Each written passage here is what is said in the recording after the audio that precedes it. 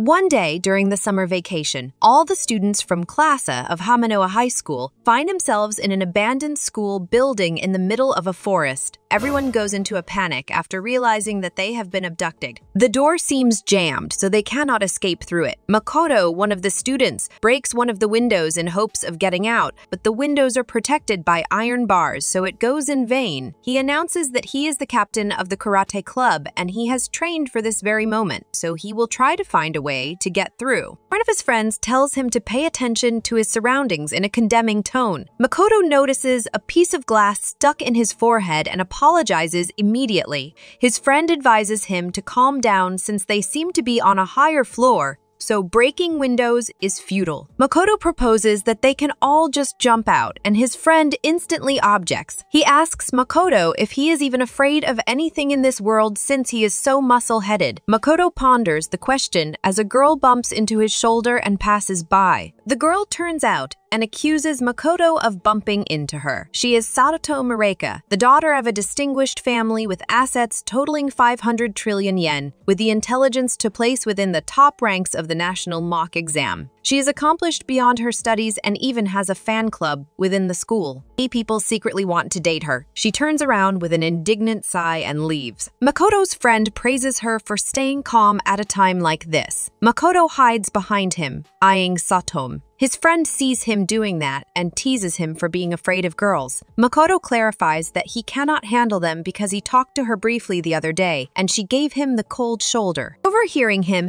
Saotome interrupts him and says that she does not even know his name for her to be talking to him. Makoto sulks at her reply, and his friend comforts him. Right at that moment, two men barge open the door with weapons in their hands. One of them, wearing black shades, points his weapon towards the students and forbids them from moving. While all the students stand in shock, Makoto runs and tries to kick the man in the face. The man blocks his kick easily and applauds his fearlessness in fighting back. He declares that he will eliminate him and starts making his way towards Makoto when Saotome steps on his foot and he trips. Saotome threatens him that if he harms her, the Sayotome family will not let him off. All students are impressed by her boldness. The man with the glasses attacks Saotome with his weapon and purposely misses. He says that he will let her behavior slide this time, but she should still get some sort of penalty. He states that she would be their first participant and escorts her out of the room. Makoto notices that she is shaking while she leaves the room. He realizes that Saotome protected him by interfering in the matter because he would have been the target otherwise. He does not understand why she would do that and prays for her safety. Suddenly, a voice comes out of the speaker in the classroom and announces that all the students have been brought here to participate in a game where they would have to risk their lives. In the broadcasting room, there are several men in black suits monitoring the students. It is revealed that the master of this game is Satomi Rika herself. The men in black are the butlers of the Satome household, who bribed the parents of students so they would allow the abduction of their kids. They turned an abandoned building into a game thanks to the Saotome family's fortune. Tuju, the man in black shades from before, praises Saotome for her acting. He asks whether it is essential to go that far. Saotome replies that it indeed is, and the whole game is created so she can start dating Makoto. According to the suspension bridge effect, when a man and woman are on a suspension bridge and feel fear, it is theorized that one's heart pounding from fear can be mistaken as love. So, if she uses this game as a suspension bridge and acts as a heroine as they clear the game together,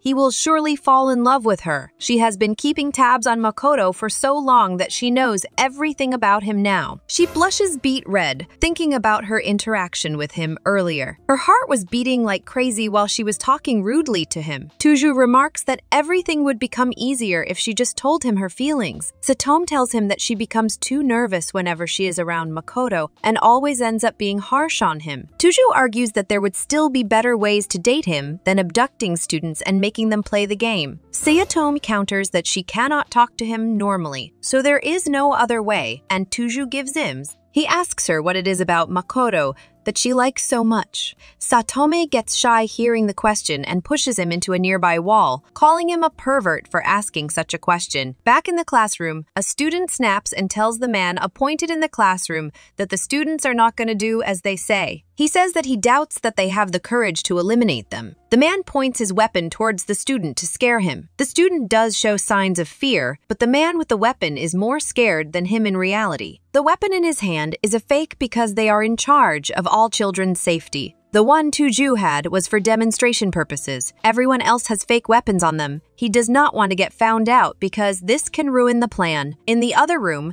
Satomi is screaming at her butlers to get going before students get too suspicious. All students get ordered to gather in the hallway. Tuju and Saotome appear there, with Saotome seeming like a hostage. Tuju announces that he needs someone to play the first game with Saotome and picks Makoto for it. The original plan is for Satomi to act like a damsel in distress, so Makoto saves her, but forced by habit, she acts cool in front of him and tells him not to risk his life over it. Tuju gets mad at her because if Makoto does not come with them, there would be no point in all the drama. However, Makoto does not listen to Sayotomi and decides to play the game to protect her. Satomi finds this very attractive Tuju starts explaining the game. Makoto and Sayotome have to avoid a rolling iron ball weighing 2 tons for 30 minutes. The game starts, and both of them start running. The iron ball is actually being controlled with a remote controller so that it does not actually run into them. Since Makoto does not know that, he tries his best to evade the ball and take Sayotomi's hand in his to run together. Sayotomi is over the moon after holding hands with Makoto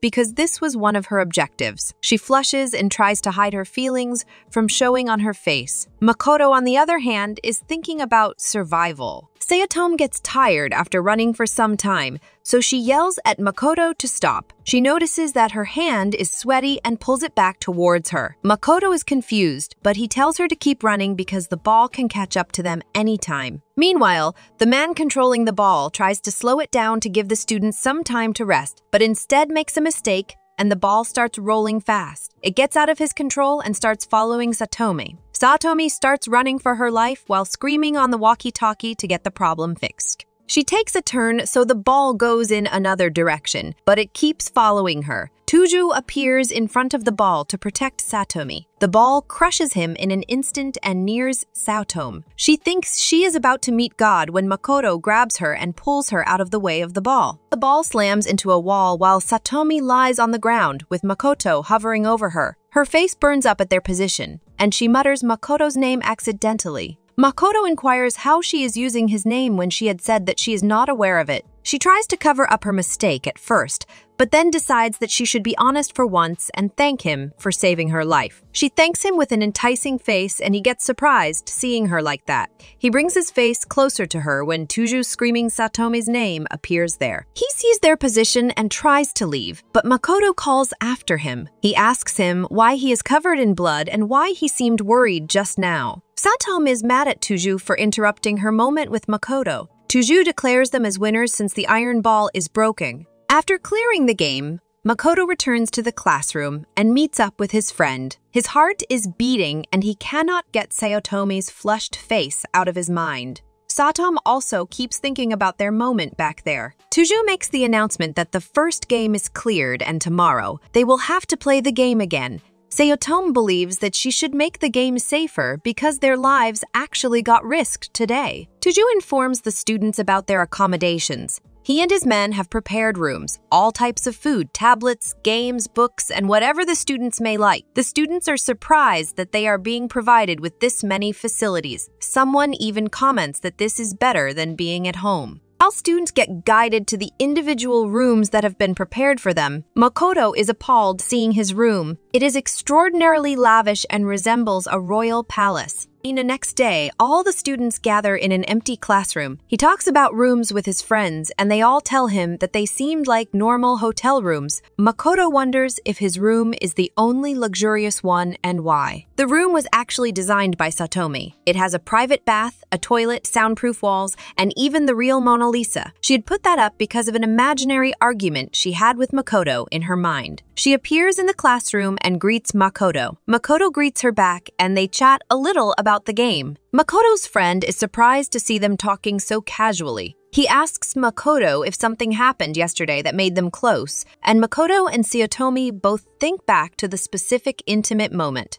Saotome coldly answers that nothing happened and leaves. The speaker buzzes suddenly, and a man starts talking. Saotome's objective today is to make Makoto more conscious of her. The man explains that the next game is about finding a hidden bomb. The students have to find it and disarm it in an hour. If they fail to do it, the bomb will level the whole building. The game makers have moved to a safe place just in case. The students go into a panic and start running in different directions to find the bomb. The bomb is a fake and tied to Saotome in reality. She plans to be alone with Makoto and pretend to find the bomb. When people are pushed to the limit, their desires come out, and according to Satome's delusion, Makoto will express love to her while trying to deactivate the bomb. She runs after him to execute her plan, but he is too fast for her. Back in the broadcasting room, the butlers are resting. After searching for the bomb in many hallways, Makoto deduces that it might be hidden in one of the rooms. His room is the only one that is oddly lavish, and he finds it suspicious. He enters his room and starts searching the drawers. Sayotome follows him into the room, looking absolutely exhausted. Makoto asks her why she is here, and she composes herself to say that she found the room suspicious too, when in reality, she was shamelessly running after Makoto.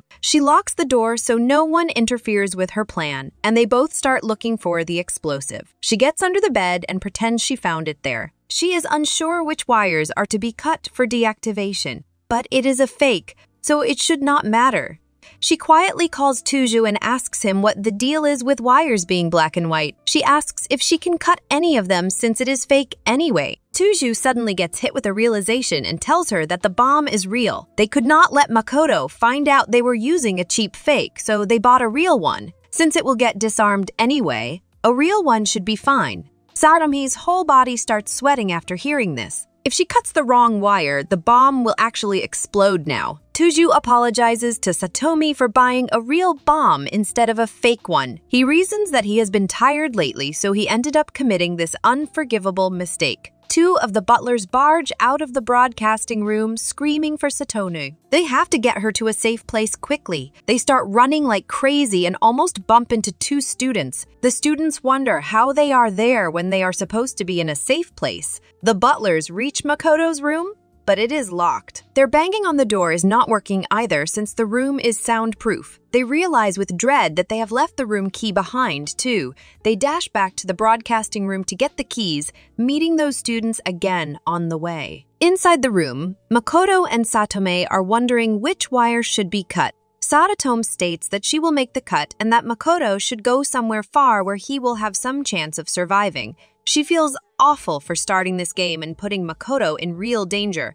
She believes that she should take responsibility for this. Makoto pats her on the shoulder and takes the cutter from her hands. He declares that he would not let everyone's fate weigh on Saotome's shoulders. He will make the cut, so whatever happens will be on his hands. Sayotome finds this very heartwarming. She grabs the cutter from one end and states that she would not let Makoto bear this responsibility alone. She will cut it with him. Makoto thanks her, and they both decide to cut the black wire. Their hearts beat loud as they bring the cutter near to the wire. They cut the wire, but the timer on the bomb does not stop. With only four seconds left, Makoto holds Saotome in his arms and lies down on the bed, protecting Saotome with his body. He knows that it will be pointless against a bomb, but he has to try to protect her anyway. Sayotome flushes, feeling his whole body against herself. The timer ends, but nothing happens. Makoto realizes that they have been spared and heaves a sigh of relief. Saotome, on the other hand, is holding onto his body tightly and not letting go. Her heart is throbbing, and she cannot think of anything except being in Makoto's arms. He respectfully asks her to release him. She lets him go instantly, realizing her mistake. Makoto says thanks to her for being here with him because it was reassuring. Saotome turns on her cold mode and says she would have been fine without him. Back in the broadcasting room, it is revealed that the bomb was actually fake, and Tuju lied to Sayotome. His companions complain to him about keeping them out of the loop and making them scared. He reasons that deception starts with allies. He thought that for this game, it would be better for Satoni to be frightened too. Or with them both being nervous, they would be more aware of each other. Satami appears beside Tuju and punches him while yelling, God job punch. She scolds him and thanks him in the same breath. Tuju does not understand if she is thrilled or pissed. Back in Makoto's room, he also keeps thinking about his time with Saotome in his room. Tuju, looking ragged after getting beaten, asks Sayatome about the next game. She brings out a swimsuit and says that this will make him more flustered. Makoto is having dinner with his friend at the cafeteria. They wonder why the game admins are being so hospitable. They have everything available, and the food is delicious too.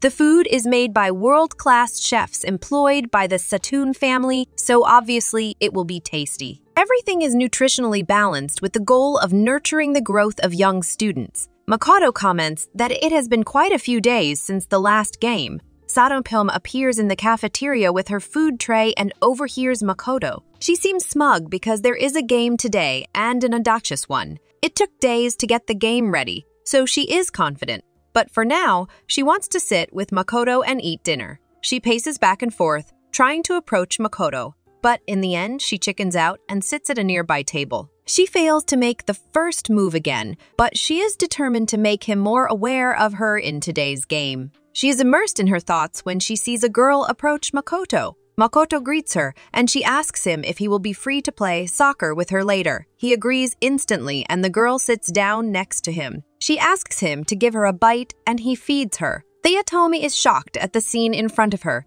She is seething with jealousy and anger. She wonders what they are to each other. Makoto's friend comments on them being so close, even for childhood friends, and she is appalled. Nagahama Chihiro has been living in Makoto's neighborhood since the second grade of school. They have been hanging out since. She is an energetic girl who plays with boys often. Her friendliness often gets mistaken as romantic feelings by boys.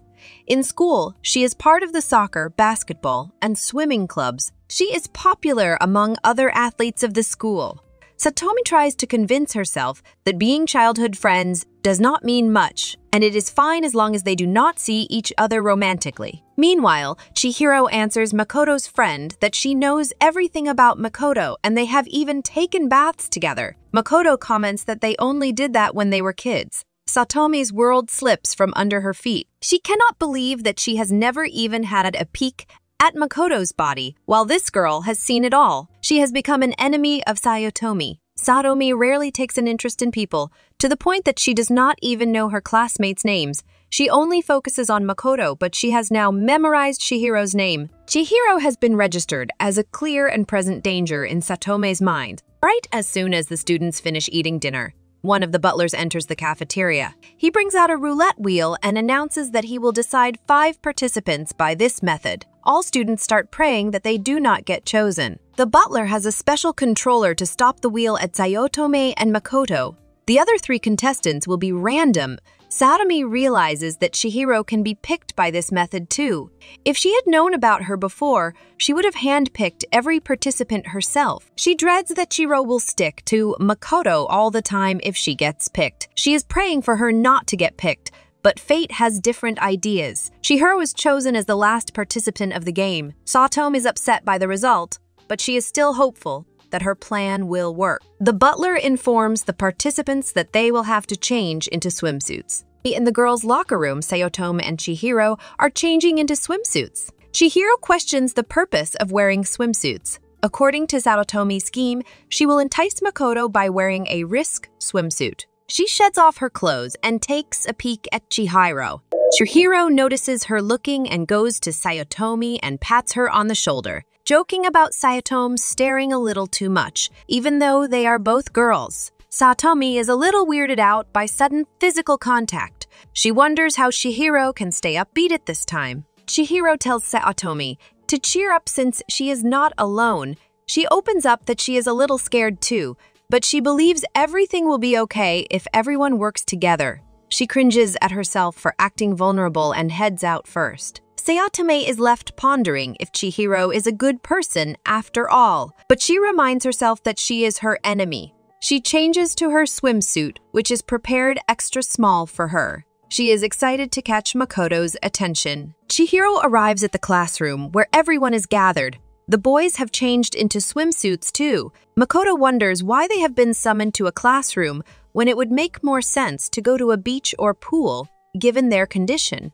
Makoto asks about Satomi from Chihiro, and right then, Sayotome appears dressed in an oversized dress shirt and looking extremely shy. Tuju sees her on the screen in the broadcasting room and screams. He is pissed off that Satomi did not abide by the plan and calls her an idiot. He composes himself and presses a button, which makes water flow out of a pipe in the classroom. While everyone is thinking about the water, Sayotomi is bent on making Makoto notice her. In this game, they have to escape by entering the right password on the keypad by the door. There are quizzes hidden around the room, and the answers to those quizzes make up the password. The longer it takes to find the right password, the more water will be filled in the room, making it harder to move around. It would take only 30 minutes for the room to get fully submerged. Once the explanation is over, one of the boys instantly starts looking for quizzes. Makoto suggests that they just break the door instead. His friend rebukes him for always being hot headed. He complains about it to Chihiro, and Chihiro supports Makoto's plan. Saotome tells them all to calm and look for the quizzes. She finds one and solves it right away. She reassures everyone that they can win this if everyone calmly works together. Makoto realizes that she is right.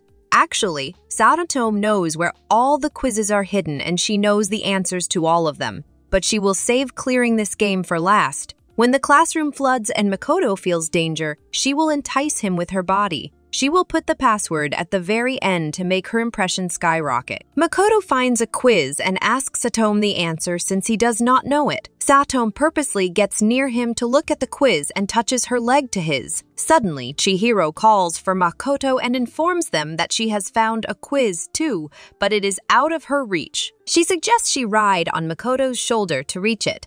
Satome is shocked to hear a suggestion like this. She thinks Chihiro is shameless for proposing something like this. She has no sense of distance when it comes to boys, and even boys treat her like she is one of them. She thinks that women like her are the most dangerous, but they shake men's hearts, and when men confess, they act clueless. She is a demon in Satome's eyes. Chihiro gets on Makoto's shoulder and retrieves the quiz. Saotome forces herself to bear it till the time comes when the room is mainly filled with water and all quizzes have been collected. Sayotomi gets a chance to get close to Makoto. She wonders if he is conscious of her. She sees the opportunity and announces the right passcode. Other students ask her how she knows it, and she answers that she has been mulling over it all this time and finally got it. She gets inside the water and swims to the keypad to enter the code. Right when she is about to input the code, she gets a painful cramp in her leg. It hurts so much and she cannot breathe either. She is almost about to faint and calls for Makoto's help when Chihiro appears and holds her.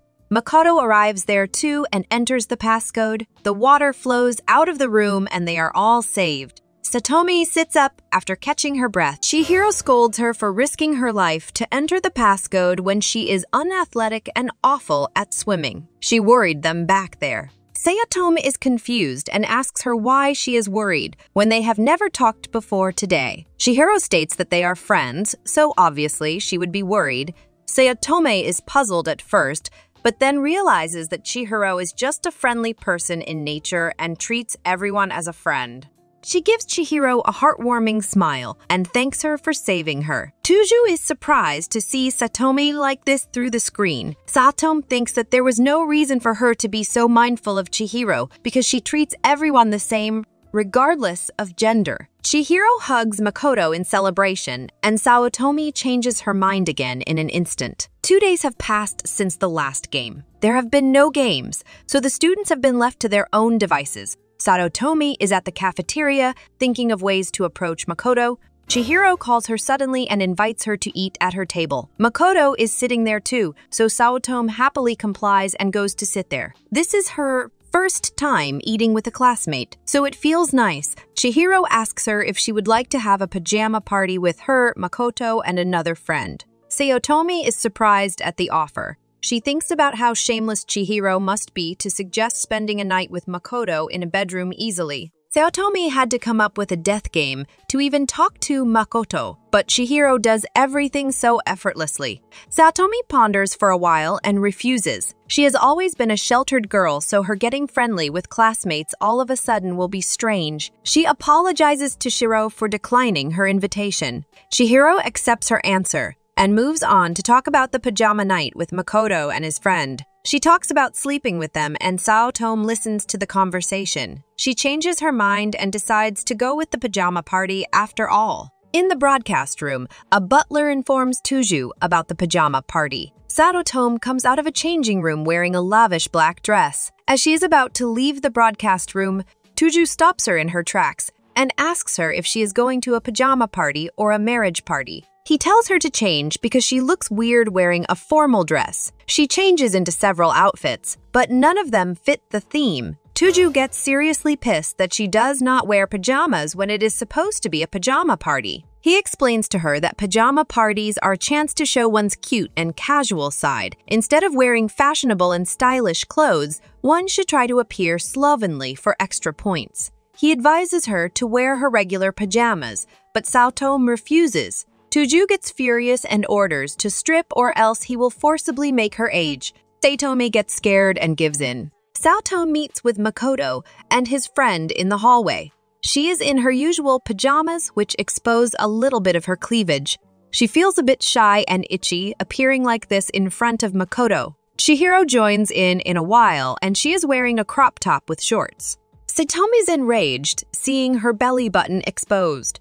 She worries that she will not stand out now and decides to cut Tuju's pay. Chihiro calls her pajamas cute and asks Makoto for confirmation. Makoto agrees with Chihiro and admits that they are cute. Saotome becomes elated and mentally says thanks to Tuju, exactly the opposite of what she was thinking a minute before. Meanwhile, Tuju is in the broadcast room complaining about her being stubborn. As the group walks towards a room, Satomi becomes conscious of the fact that this is the first time she is going to be together with Makoto outside the game. She wonders if she will even be able to talk to him without the game to rely on. The group goes to Makoto's friend Umi's room for the hangout. Umi brings out snacks and drinks, saying that he made use of the freedom the game admins gave them. Tuju is monitoring them from the broadcast room. Saotome asks what is usually done on pajama nights. She thinks about QA, but she already knows everything about Makoto. So this game would be boring for her. Umi laughs and replies that there has to be love talk when it comes to pajama parties. He suddenly asks Makoto if there is anyone he likes. Saotome gets on alert instantly because that is the only thing about Makoto that she does not know.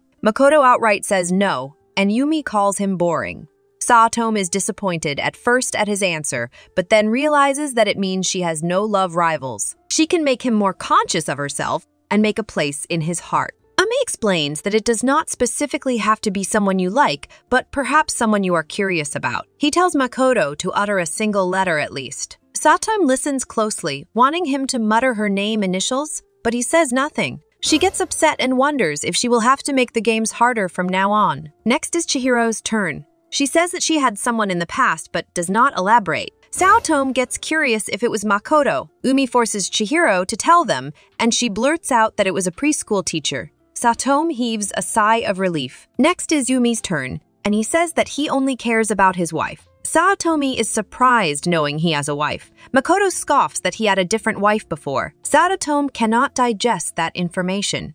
He always looked harmless, so she is surprised to know that he is a playboy. Makoto sees the confusion on Saotome's face and clarifies that Umi is talking about anime. Her brain stops working for a moment, and she inquires how to register the marriage. Amisamari apologizes to her for causing confusion and tells her that he has no one. So he named an anime character. Saotome finally understands now and refers to Umi as Kawa.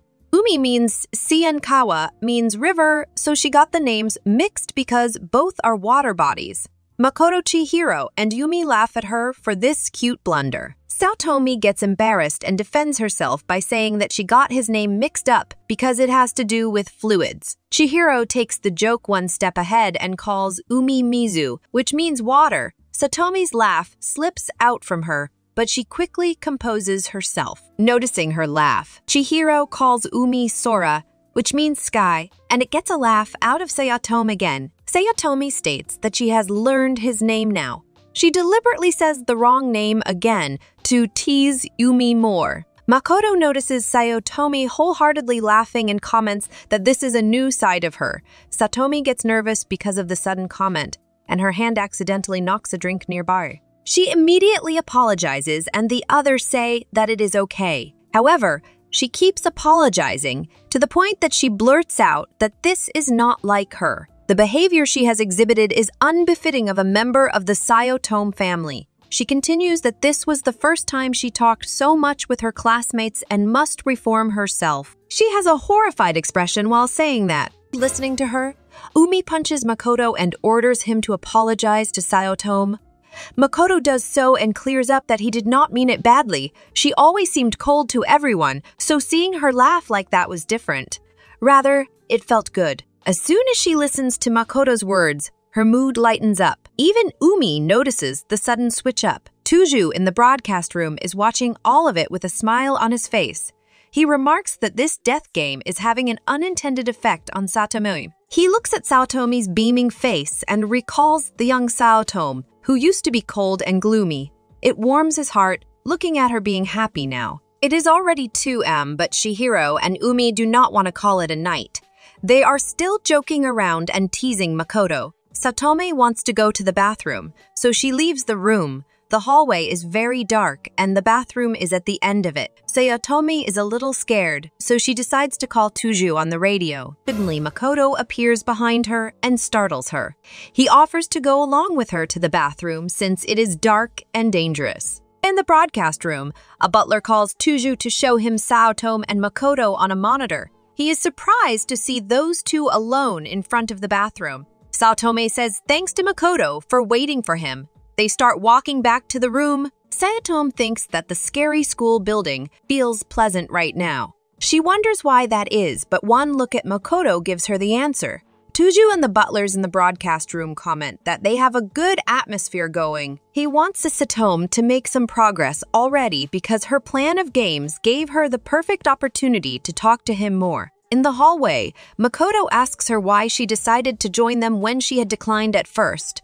The butlers in the broadcast room monitoring this all want her to say something sweet in response to that. But, forced by habit, Saotome turns on her cold persona and answers that she just wanted to see how commoners live as she lives in a completely different world than Makoto and his friends. The butlers facepalm themselves at that. Makoto walks a little ahead of Saotome while returning, and Saotome calls Tuju, she nervously whispers that she is alone with Makoto, but has no idea what to talk about with him. She dreads that they will make it back to the room before she gets to do anything. Instead of giving her advice, Tuju refuses.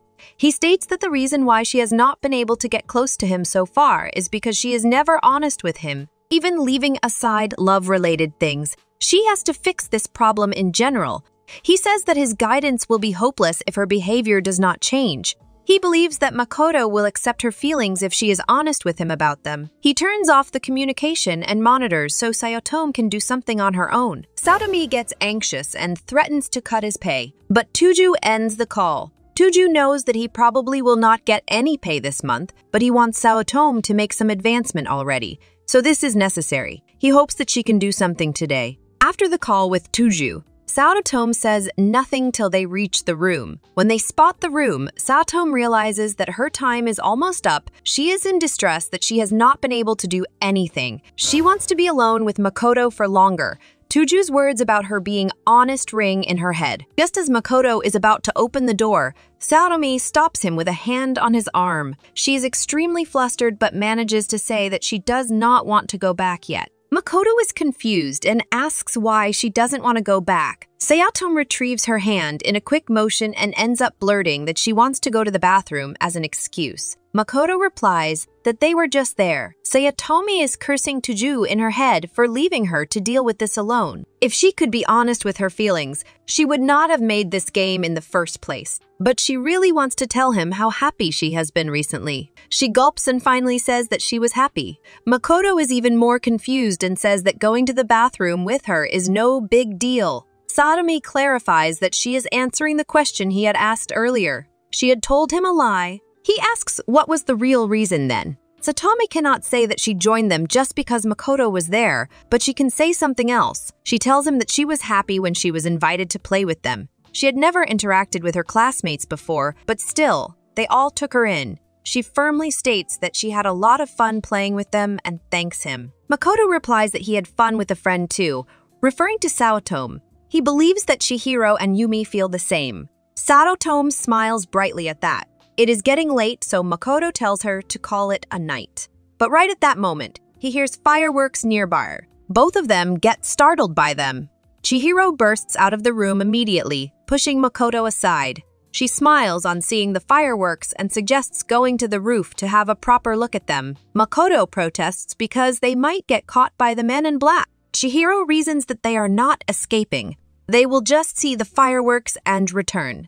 Makoto still thinks that it is dangerous, but Umi is on board with the idea. He grabs drinks and comments that the admins are strangely kind, so they will not say anything. Makoto gives in and invites Saotome to go with them.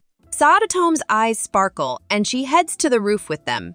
They all watch the fireworks happily, but Makoto thinks about Saotome. She is always composed and does not involve herself with others. Turning to look at her, who is smiling in awe at the fireworks, he thinks that he was able to see a little bit of her real self today. Outside the school, Tuju is sitting in the heat, lighting up fireworks. He had decided not to help her, but still ended up doing this. He just hopes that she is enjoying this. With happiness spread all around, Saotome's long night finally comes to an end. The admins get up early to make preparations for the next game. One of the butlers has prepared red rice, because Saotome wanted to celebrate going from acquaintance to friend in Makoto's eyes. She happily munches on the food, while Tuju has a discussion with the butler. To get Saotome and Makoto together, all the butlers are giving their full power. No matter how unreasonable the demand is, they will fulfill their master's wishes. That is the butler's duty. As in today's death game, students get called outside for the first time since they were brought to the school. They choose the participants with a roulette like the last time. One of the scared students, who has never participated in a game before, asks Makoto for tips. He assumes they will have to do some physical activities because they have been brought outside and gotten changed into their gym clothes. He tells her to limber up just in case. He advises Saotome to stay close to her so that he can protect her. Saotome blushes at that, but keeps herself composed. Tuju, monitoring them from nearby, waits for their conversation to end and announces the start of the game. He states that this is the most dangerous game till now and takes off the cloth of an object nearby to reveal a tiger in a cage. Everyone gets startled seeing the tiger. The challenge is to avoid this beast for 10 minutes. Tuju opens the door and the tiger comes outside. All the students start running in different directions in a panic. One of the students is sleeping amidst all this, and his friend threatens to leave him there to get eaten. The tiger is actually just a costume commissioned by the Saotome family. It was created by the world-class doll maker, Uhira Ryugen. He is so good at his craft that no one can differentiate between his dolls and the real things. Saotome family butlers went through a lot to get their hands on a tiger costume, the butler wearing the costume wants to make their plan successful at any rate because the doll maker had worked tirelessly to make this tiger appear real. Of course, he has no actual way to eat the students, so he will just have to stall the time. He pretends to look in the opposite direction so the students near him can escape. Some of them hide in a storehouse. The tiger gives them some time to hide and then enters the room to scare them. All students are poorly hidden and can clearly be seen by anyone. It is pissing the tiger off because these guys are acting like they want to be eaten. One of them is in a deep sleep, completely exposed. The tiger just turns around, leaving the room because he cannot do anything here. Beast and Makoto and Saotome are together, trying to run away from the beast. Saotome informs Makoto that she has sprained her ankle and cannot run any longer. This is all just her plan to get him to Princess carry her. Ist when she thinks this plan cannot fail. Makoto carries her on his back to help her. She gets frustrated that her plan is already off to a bad start. At least she is still stuck to him, but this position is not romantic at all. She convinces herself to be satisfied with it because she is having a physical connection with him. However, she starts sweating after a while and becomes embarrassed. She unconsciously pushes Makoto a little away because she thinks guys do not like sweat soaked girls. However, Makoto just tells her to hold on tighter and even tells her to wrap her arms around his front. When she does as told, Makoto feels her front against his back and gets flustered. Right then, the beast, the one in charge of setting the suspension bridge effect, appears. He turns them while Makoto and Saotome are stuck at their place. After a moment, Makoto puts Saotome down and decides to fight off the tiger. He reasons that he will be fine as long as he does not get bitten. He cracks his knuckles while giving the tiger a death glare. The tiger's jaw drops at his recklessness. He cannot believe that Makoto is seriously planning to fight it. He has even taken a fighting stance. Saotome is in a daze, looking at Makoto, so counting on her to stop him is useless. Makoto charges at it and tries to attack it with a punch. The tiger makes a run for it. Originally, in this game, the students were supposed to hide from the tiger, but now the tiger is the one fleeing. The tiger hides behind a wall cowardly, so he loses Makoto. After it is gone, he turns to Saotome and declares that she is safe. She is mesmerized seeing him act so bravely. The tiger makes its way to Tuju. The man in the costume apologizes to Tuju for being a coward. He's ashamed that he got a legendary doll maker to work on it just for the plan to fail. Tuju decides to take matters into his own hands and switches the outfit with the other butler. Tuju, in the tiger costume, heads toward Makoto and Saotome. Both of them notice his appearance and turn to look at him.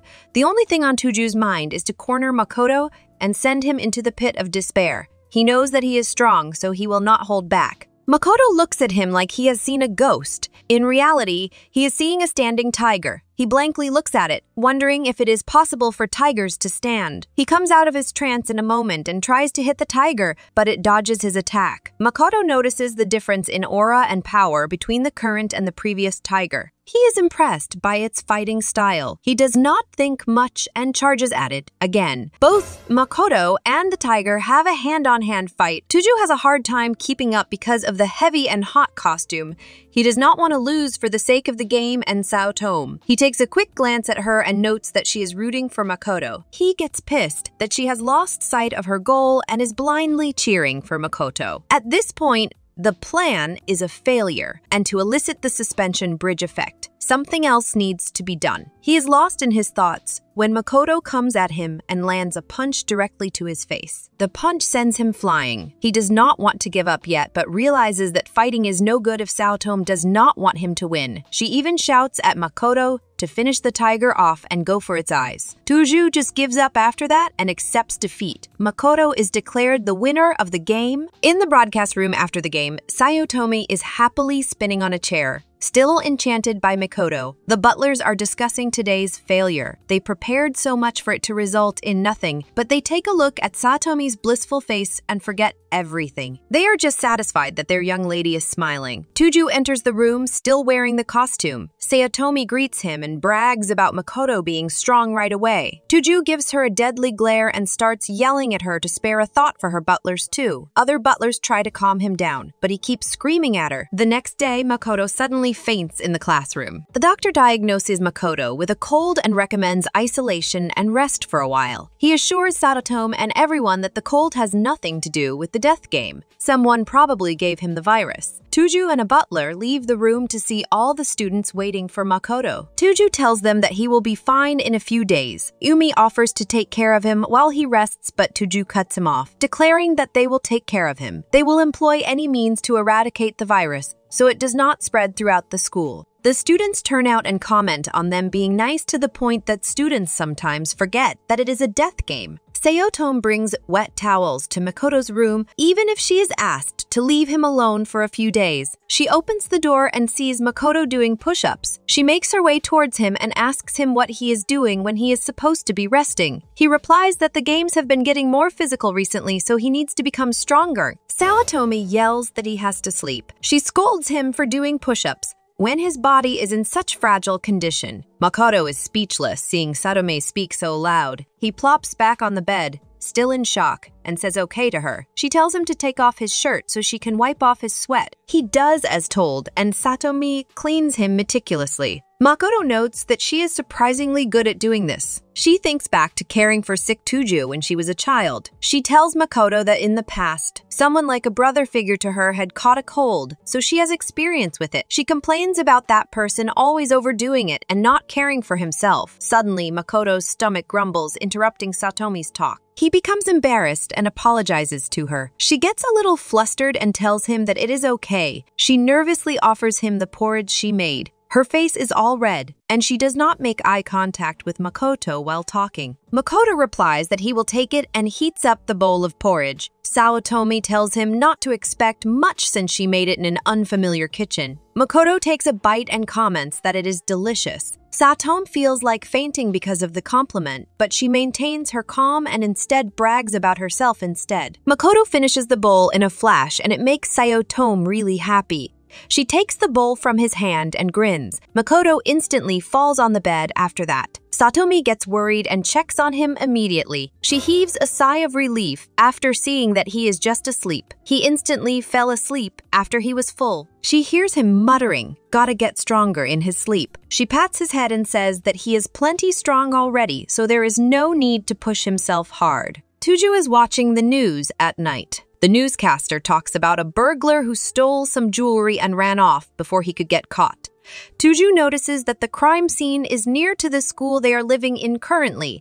The newscaster advises people to lock their doors and stay away from deserted areas. As Tuju watches the TV, a creepy man roams in the hallway outside. The students have been assured a high standard of living. They can use the specially built large bathhouse at designated times. All the female students are hanging around in the bathhouse. Saotome is wearing glasses. Chihiro proposes washing her back. She says that she can do it herself, but Chihiro starts doing it anyway. Saotome laughs because of the tickling by Chihiro on her back. Meanwhile, in the hallway, the escaped burglar is loitering around. He himself does not know where he has come to. He had thought this place would be good for hiding since it seems abandoned, but he has second thoughts when he notices signs of reconstruction. He decides to just deal with whoever gets in his way. He passes by a butler on the way and points his weapon towards him. The butler easily dodges his attack, and the criminal pulls back. After realizing that the guy is strong, he makes a run for it. The butler immediately calls Tuju and informs him about the situation. Tuju issues an order to catch him before any of the students get hurt. After the bath, Chihiro and Saotome are in the changing room. Saotome cannot seem to find her hair clip. Chihiro offers to help in looking for it, but Saotome assures her that she will be able to do it alone, so Chihiro should head back first. Chihiro complies and leaves the room, saying that she will stop by Makoto's place on her way back. Umi is in Makoto's room to check on him. The isolation time is over,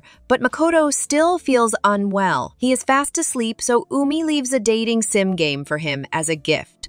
He looks around Makoto's luxurious room when an announcement is made through the speaker. It is announced that there is a suspicious person within the building so the students are advised to go into their rooms and lock them. The butlers are searching throughout the building for the criminal, so he has a hard time hiding himself. Not only did he fail his robbery, but he also made a huge mistake in choosing a hideout. The butlers are also Saotome's elite guard, so when they get serious, they can find anyone in an instant. And it is not only humans who do the work, they have other means too. They leave an iron ball to chase the criminal. Tuju is controlling the ball and monitoring everything from the broadcast room. The criminal runs fast to avoid the ball, and just when he loses the ball, a flood of water engulfs him. The man does not understand what is happening. First, he was chased by weird dudes in suits, then an iron ball, and then subjected to water torture. This abandoned school makes no sense to him. He feels like he is in a death game. The criminal runs away from the water and goes into the locker room to hide. Saotome is there, just having found her hair clip. The man sees Saotome and instantly pulls out his weapon to threaten her. Chihiro enters Makoto's room, screaming for Saotome. She asks Umi if Saotome is there yet, and Umi says no. She panics because she had not been in her room either. Umi asks her where was the last place she saw her, and she tells him that it was the locker room. Makoto is listening to the conversation from his bed. In the locker room, the criminal has a weapon pointed towards Saotome and asks her if she knows men in black. Saotome is so scared that her voice does not come out. Every dangerous situation till now had been staged by her and her butlers. But right now, the man in front of her is actually a menace. She is experiencing true fear.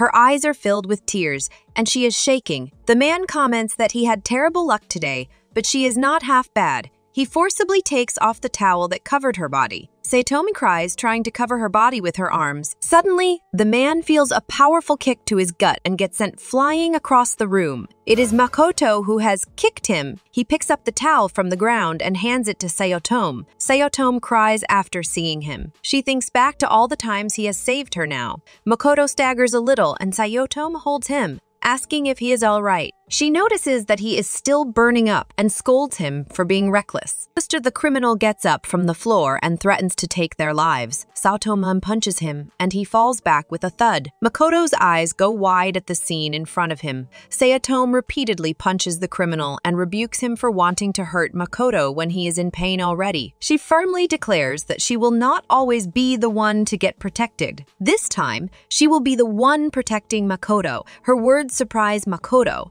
Chihiro enters the room and notes that Saotome is still in a towel. She punches Umi and tells him to get back outside. The criminal gets captured by the men in black and they bring him to the police. After dressing up and being done with everything, Saotome properly thanks Makoto for saving her. She says that she was terrified, so it made her happy. Switching her mood instantly, she reprimands him again for acting recklessly and thinking he can do everything by himself. Makoto smiles and asks Saotome if she will save him again if he gets in trouble next time. Saotome unwaveringly replies that she will always be there for him. Shifting the topic, Makoto asks her about the glasses. She answers that she normally wears contacts since her eyesight is bad. Two days later, Makoto makes a complete recovery. The butlers, watching him from the broadcast room, decide to hold a game soon. Tuju suggests going with the world's most fun death game, and the other butlers smirk. For some reason, all the students find themselves in a fantasy world when they wake up. The students are confused about what is happening to them. The men in black sent messages to the students explaining the game. Actually, they are all in the world of an online video game. Makoto, being old fashioned,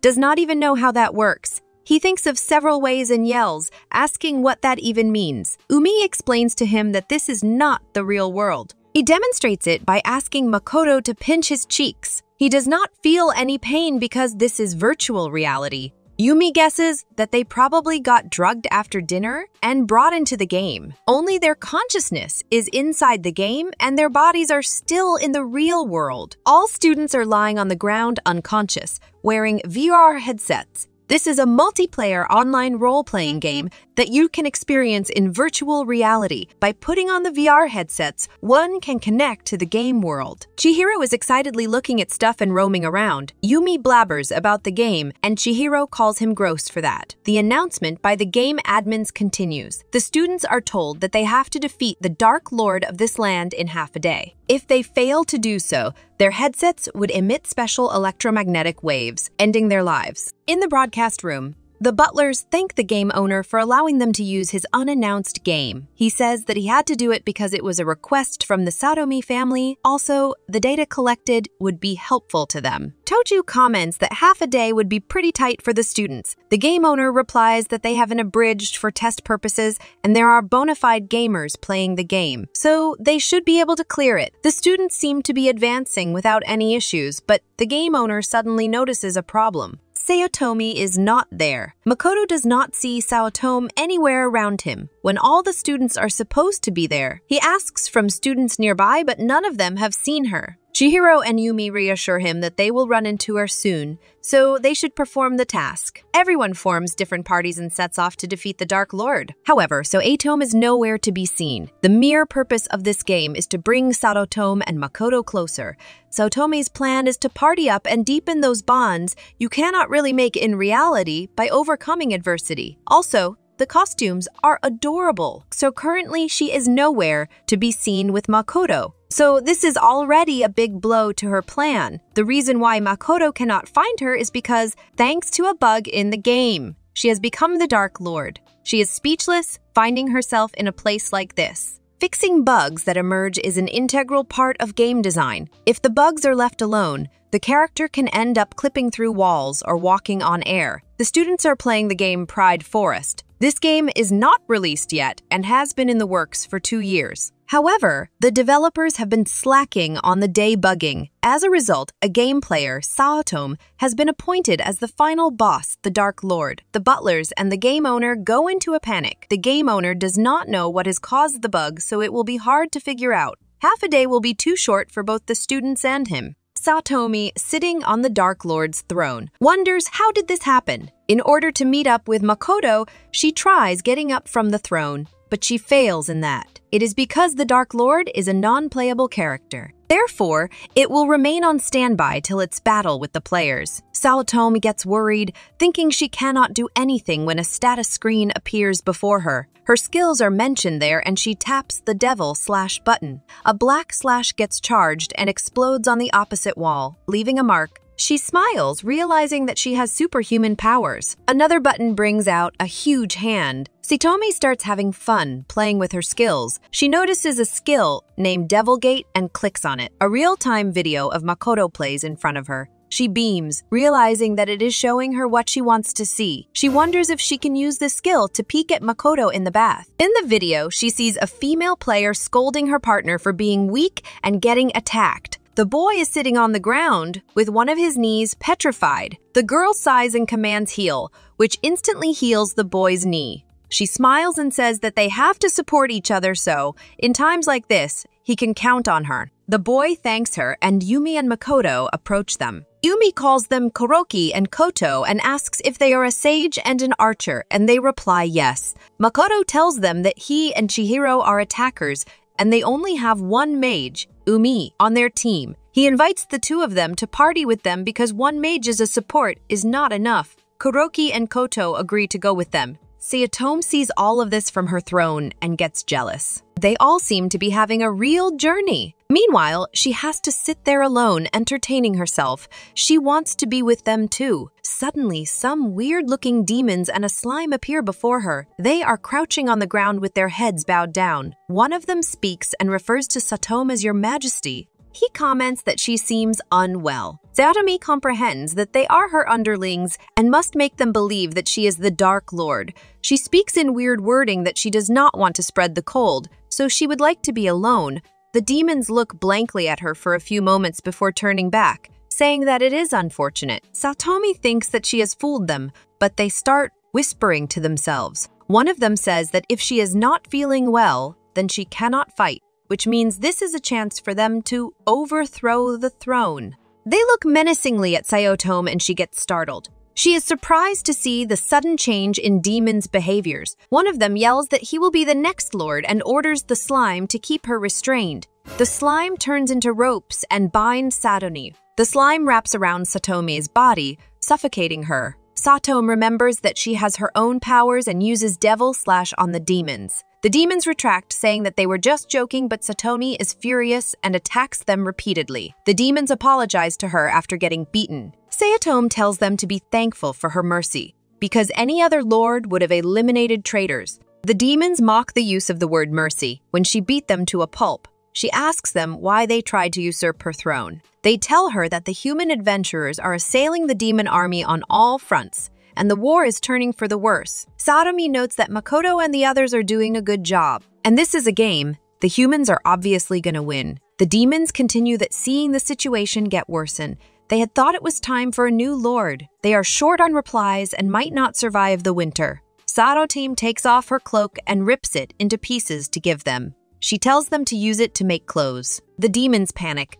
seeing her destroy the cloak that has been passed through generations. They ask her if she can still call her the Dark Lord after tattering the cloak. Saotome replies that it is just a piece of cloth and the demons' bodies are far more important. She knows that those guys are destined to lose, but as the Dark Lord, she should try to help them. She requests them to let her give them support as their lord. Seeing her kindness, the demons accept the cloak happily and Saotome laughs at their shenanigans. Makoto's party faces a strong monster. Kuroki tells Koto to stay back while she protects him. Makoto launches a finishing attack to the monster, and it gets defeated.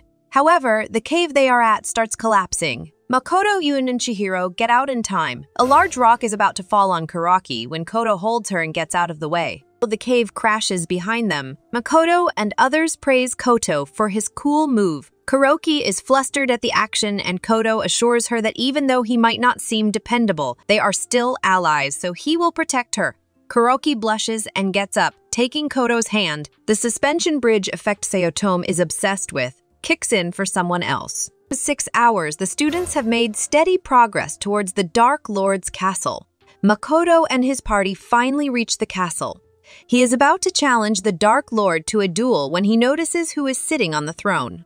As Makoto and his friends are shocked to see Saotome as the Dark Lord. However, the rules are still the game. They will have to defeat her to clear the game. Tuju says that she has no choice but to lose here. This game was a failure, so she should hurry back and move on to the next game. Umi states that Saotome being the villain makes things easy. She can just lose on purpose. It might be an anticlimactic ending, but there is no reason to fight. Makoto agrees with this and tells Saotome to stay at her place so he can end this. However, Saotome has other ideas. She uses Devil Slash on him, and he barely manages to dodge. Makoto screams at her, asking why she did that. She gets up from her throne and says that she knows she will lose no matter how much power she uses. This game is designed so the Dark Lord does not win, but she still does not want to give up. She declares that she will fight them and yells, Come at me! Humans, everyone's jaws drop at the declaration.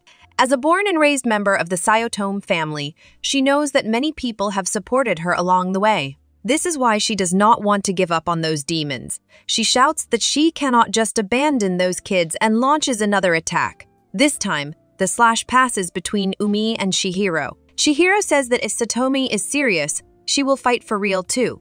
Umiai asks Makoto to convince Saotome to stop, but he says the same thing as Chihiro. He calls them berserkers for loving fights too much. Saotome punches with the big hand this time, but Umi stops it. He was not on board with the idea before, but now he is willing to help. He tells Makoto to finish the fight in one hit, since the opponent is still a friend. Makoto says that is the plan and dashes towards Saotome. She hurriedly launches another attack, but Makoto charges an attack of his own. The clash creates a lot of noise and destruction. Saotome gets defeated in just one hit and the game is cleared.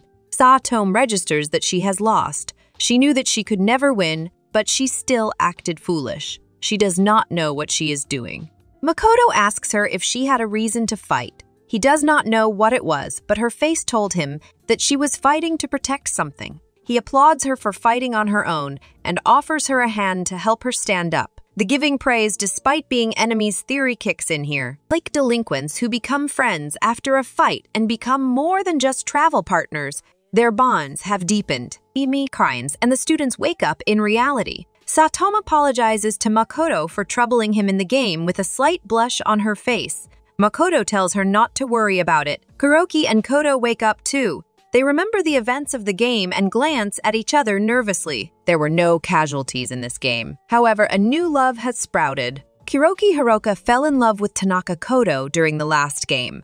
She wants to give him some cookies as a thanks for fighting alongside her and saving her, but she is hopeless in this case. The cookies she has made look awful. She wonders if she will ever be able to make them decent by herself. Saotome passes by the kitchen and stops when she sees Kuroki. She notices the baking ingredients and utensils on the kitchen counter and asks if Kuroki would like some help. Saotome puts on an apron, and Kuroki asks her if she knows how to make cookies. Saotome replies that she basically knows how to make everything. Kuroki says that she is surprised to see that Saotome has the heart to rescue someone needing help. She also calls her rampage as the Dark Lord Cringe. Saotome admits that she has never paid much attention to people. But recently, she has met people she can call friends, so she has realized that she cannot stay away from people. Kuroki pokes fun at her for being alone till now. She adds that in school, Saotome has always been like a rich girl who silently screamed to look at her.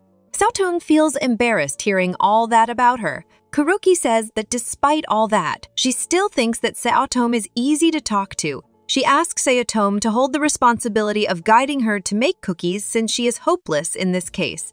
They both get to work and start mixing the ingredients. Saotome guides her on every step. She suddenly asks who she is making cookies for. Kuroki jumps at the question and says that she is not going to tell her. Saotome recognizes the look on her face. As a love expert, she can easily tell that Kuroki is in love. Saotome threatens that she will not help if Kuroki does not tell her who it is. She asks her all kinds of questions like how it started, when she realized it was love, etc. Kuroki gives in and mutters the name quietly. Kuroki takes Koto's name, but Saotome does not hear her voice properly and assumes that she said Makoto's name. She gets shocked at first, but then it starts making sense to her because Makoto is the coolest guy in the school and no one comes close to him. With this, the girl whom she is supposed to be helping has become her love rival. So she comes up with a plan and tries to ruin the cookies Kuroki is making. She suggests adding some dried horse mackerel to the cookie dough.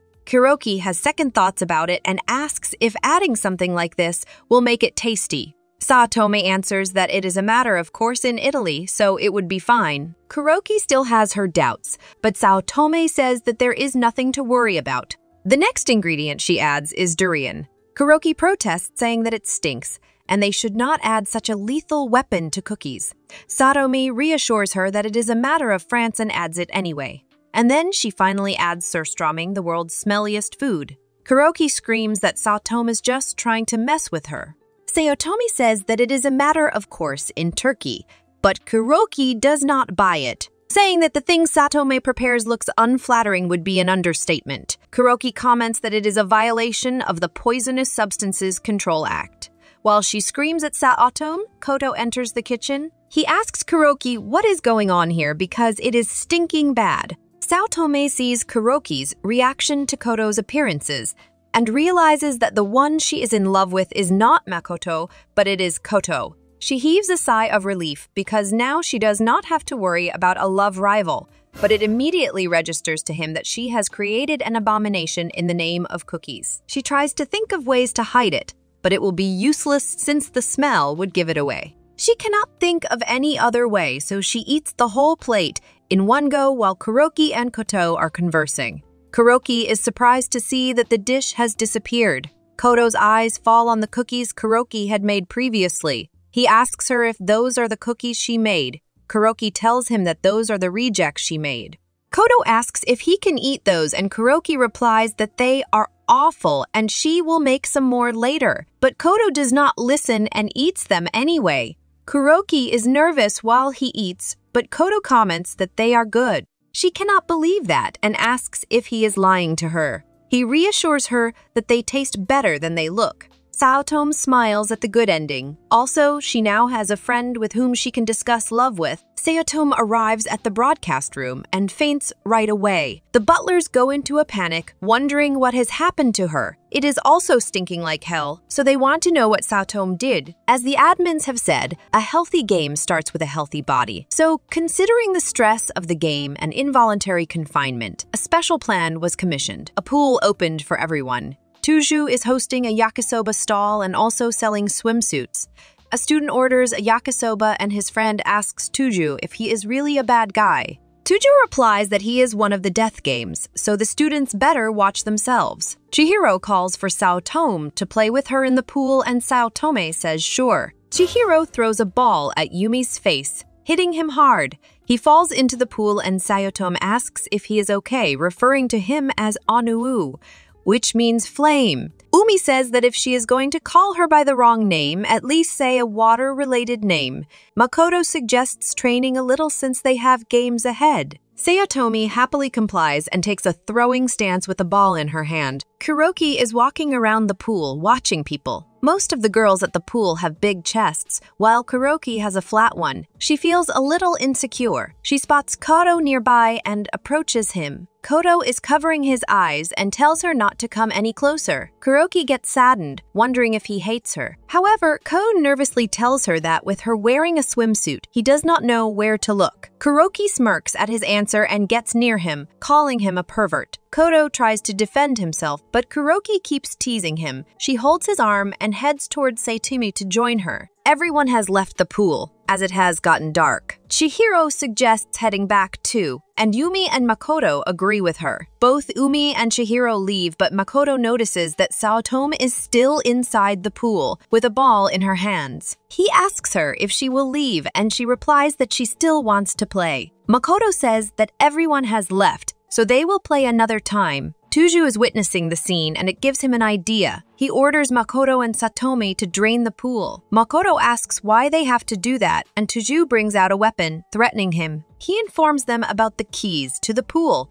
and tells them to stay until all the water is drained. His idea finally clicks in Saotome's head, and she pretends to be sad for having to stay behind to drain the pool. She fake complains to Tuju about giving them odd jobs, and he leaves. Saotome asks Makoto if they can have some fun themselves since they have to stay here anyway. She has an enticing look on her face and Makoto falls right into her trap. Makoto has kept his emotions hidden ever since he was a kid. No matter the situation, he always remains calm. His physical abilities have made him an accomplished martial artist. Even during the games, he never panicked and got over every hurdle using his capabilities. However, lately, there are times when his heart does not stay calm, especially when they involve Saotome. Getting in the pool, Makoto comments that Saotome has become a lot more expressive. He says that the old Saotome would have never admitted that she wanted to play more. Saotome gets flustered and calls him a meanie for teasing her. He clarifies that this was not his intention and he was just pointing out a fact. Shifting the topic, Saotome asks him when was the last time he smiled. The question confuses Makoto, and Saotome explains that he does not smile much and always has his eyebrows furrowed. She cutely tries to imitate him and points towards her eyebrows. Makoto makes the exact same face she was talking about.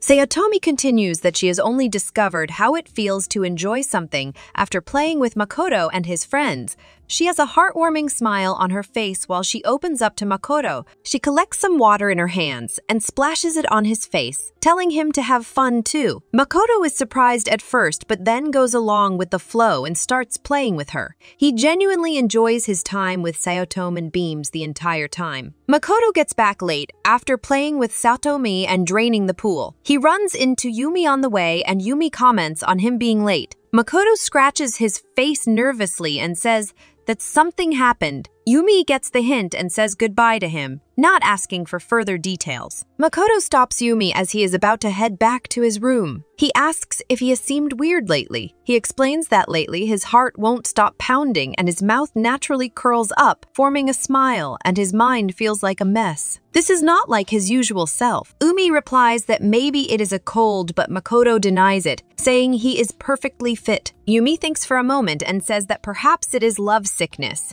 He immediately clarifies that he is joking, but Makoto's face has gone blank. Makoto thinks of Saotome and blushes instantly. Umi notes that his joke is actually true. Makoto is actually in love. Umi asks who is the lucky lady to be loved by Makoto. Makoto says that he is not going to tell him, hiding his face in his hand. Umi notes that Makoto has at least accepted the love part. He asks if the girl is Saotome. Makoto jolts and asks how he got to know this. Ame gets excited and tells him that it is obvious because they both have gotten close recently. He joyfully yells about Makoto being in love with Saotome and dances as a celebration. Makoto tells him to keep quiet, but he does not listen. He says that they need to have a strategy meeting with someone who understands women and recommends getting Chihiro when he receives several punches to his head. Makoto scolds him for being too loud. Umi counters that it was just a joke, but Makoto still beat him up. He asks Makoto what started it, because he is being too serious for someone who never thought about love. Makoto thinks back to all the games and tells Umi about the iron ball game, which was the first heart-stirring moment. Then he talks about the time they disarmed a bomb and when she clung to him while running away from the tiger. Ame comments that it sounds like the suspension bridge effect, and it does not have to be love. It just means that girls excite him. Makoto threatens him with another beating and explains that the games only helped them get closer. But there have been other times, too, when he felt his heart beating. He gives the example of just the two of them playing in the cool. He wants to get to know Saotome outside of games. When he sees Saotome smile, his heart just won't settle down. He makes a weird face while explaining this all to Umi, so Umi starts taking him seriously. He asks Makoto if he would like to go out with her. Makoto asks if going out means sparring together. Umi looks at him hopelessly and tries to tell him in code words, but Makoto stares at him blankly. Giving up, he tells him about holding hands,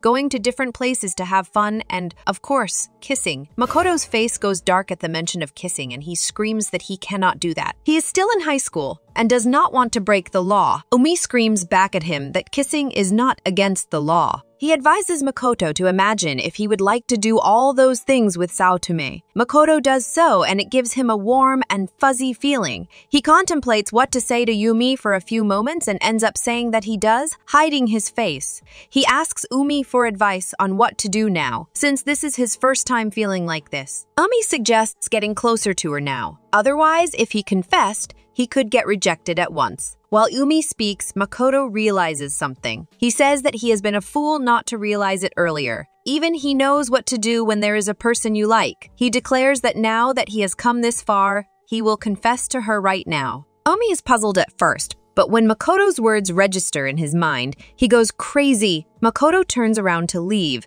and Umi grabs his shoulder, yelling to listen to him.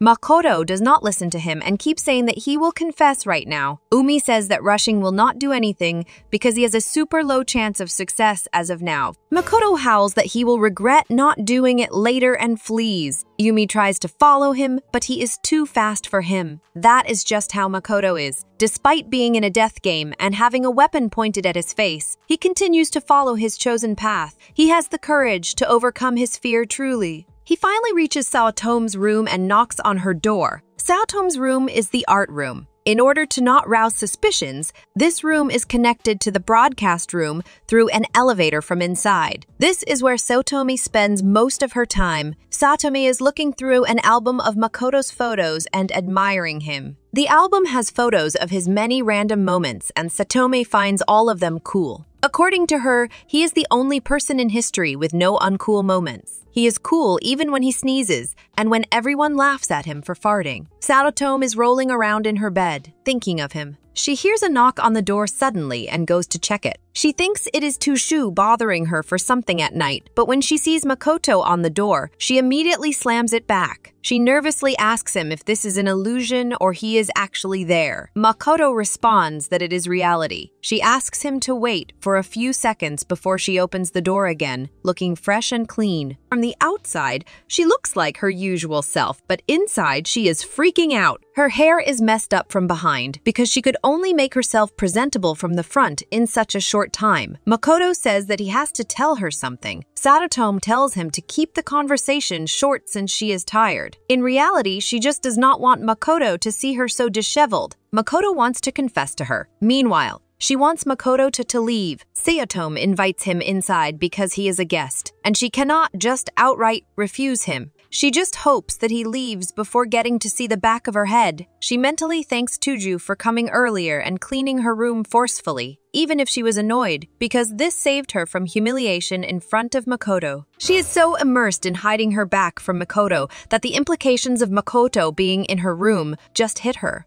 She suddenly gets nervous, thinking what she should do. She decides she should show him some hospitality, so he goes to bring him some tea. She turns around and immediately remembers about her back, so she flips back around to face Makoto. She walks backward awkwardly and shuffles through the fridge to get a bottle out. She offers it to Makoto, and he asks her why she did that while facing him, and she gives him a dumb excuse. Getting to the point, she is about to ask him why he is here when she notices her brassiere lying on a chair. She panics and starts thinking of ways to prevent him from seeing it. It is pretty big, and Makoto will easily see it if he turns out, so the only way is to retrieve it. She cannot retrieve it normally or even by acting fast because Makoto's eyes would catch her. Her only option is to feint to the right and flee to the left to retrieve it. She gets ready to execute her plan. Meanwhile, Makoto is only thinking about confessing to her. He is nervous, but he has to confess in order for things to change. He tries to read her body language but fails because she is squatting like an American footballer.